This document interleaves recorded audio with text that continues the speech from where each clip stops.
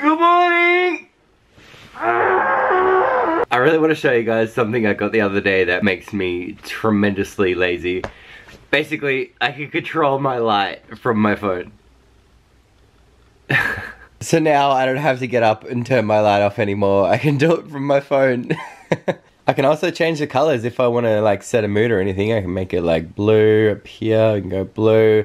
We can go purple, we can go pink. Look at it, it's such a little romantic set right now. Oh, my chest hair, i got to trim that soon. Anyway, it's currently 12 p.m. Unemployed life, yo. Let's get started with the day. I have some very sad news to share with you guys today, but it's kind of a good thing in the meantime. Good old Stacy here has been broken for like the last three months and is finally getting replaced. So say goodbye to Stacy. I love her, but it's time to retire you. And let's all be honest here, if Stacy could say something, she'd be very happy that she was being put down. oh, it's so hot in this car. I need a working aircon.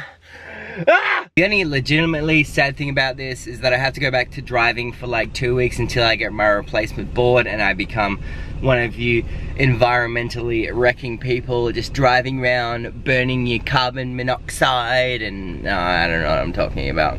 Goodbye, Stacy. Oh. this thing is super fast and I'm not prepared for it.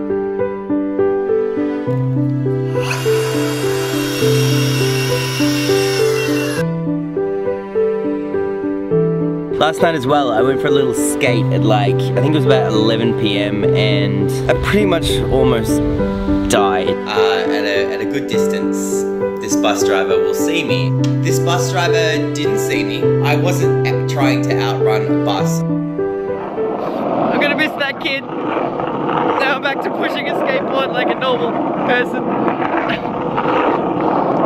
I'm also riding shoeless because I was wearing thongs. Oh, do with every kiss and every love. You make, you make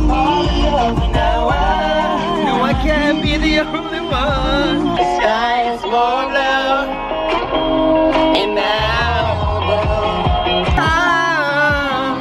This guy's behind me at 7-Eleven having a fight on this behind 7-Eleven.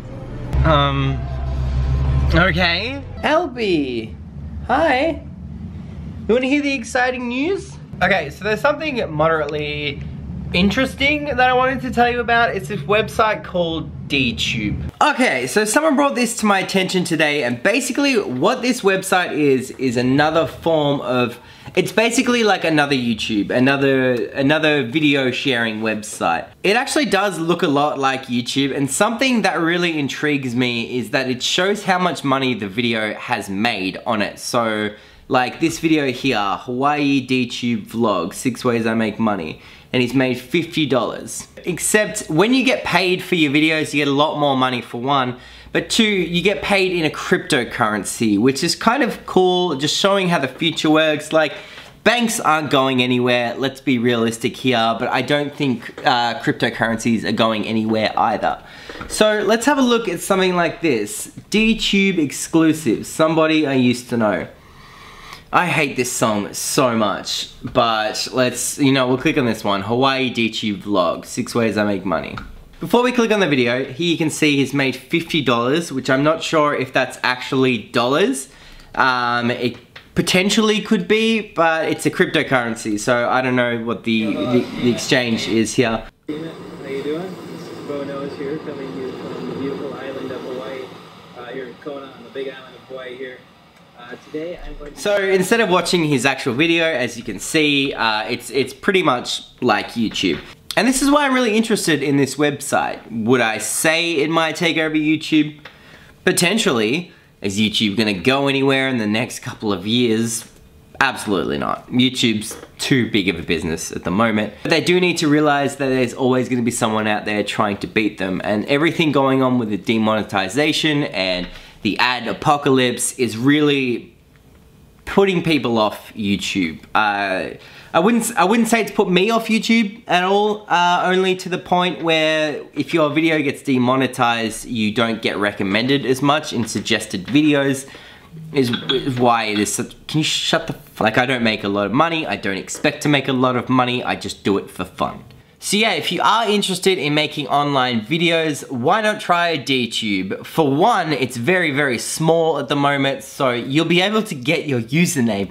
Like, how many times have you tried to sign up for a website only to find out that someone has taken your desired username? I cannot believe I managed to get my full username on this website at the moment, and I'm gonna be uploading to this website. Have you ever heard that song, I'm a boss ass bitch? That's me right now, except I'm a broke ass bitch. bitch, bitch, bitch. But something I have been meaning to tell you is I actually got a job, a filming job. Like I film this business, um, their interviews, and I can't really tell you too much yet. But uh, I wanted you to meet my friend, but he's he's inside. But um, yeah, I hope you guys enjoyed today's video, and I'll catch you on Monday, hopefully. Okay, bye.